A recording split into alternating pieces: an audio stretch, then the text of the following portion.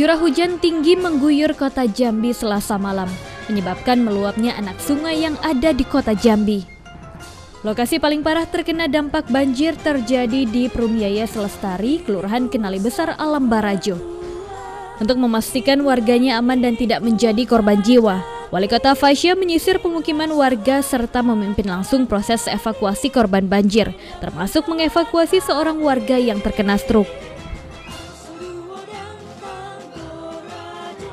Wali Kota Fasya langsung menyiagakan petugas medis dan layanan home care di beberapa titik lokasi banjir untuk memberikan pelayanan cepat kepada masyarakat. Fasya menghimbau kepada warga sekitar untuk berhati-hati dan menjaga anak kecil dari bahaya banjir. Fasya juga mengajak warga yang rumahnya terendam untuk mengungsi sementara waktu ke tempat yang lebih aman.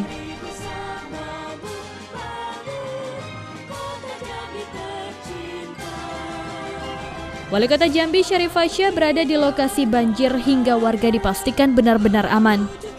Wali Kota Fasya mengatakan bahwa kondisi drainase sudah baik, namun banjir yang terjadi dikarenakan kondisi alam dan cuaca yang ekstrim sehingga membuat debit air bertambah.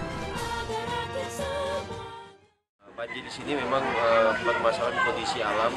Kalau drainasi sudah bagus di sini dan karena terlalu besarnya debit air dan cuaca ekstrim juga mengakibatkan daerah sini banjir. Tadi juga kami banyak mengevakuasi warga dan ada satu juga uh, yang menderita stroke juga kami evakuasi keluar dan uh, banyak warga juga yang anak-anak kecil yang di dalam juga sudah kami evakuasi dan ada pasien di dalam langsung dikunjungi oleh dokter kami dengan program home care-nya. Bahtiar AB, Jambi TV.